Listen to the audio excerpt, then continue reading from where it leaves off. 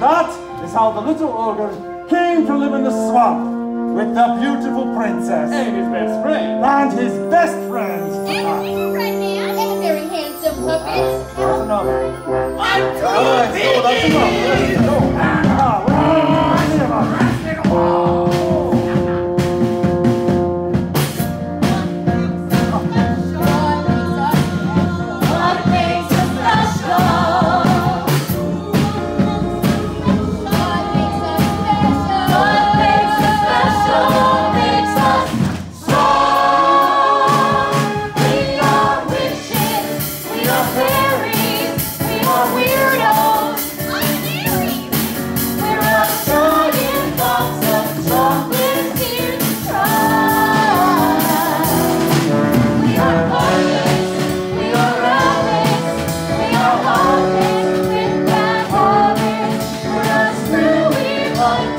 Lord.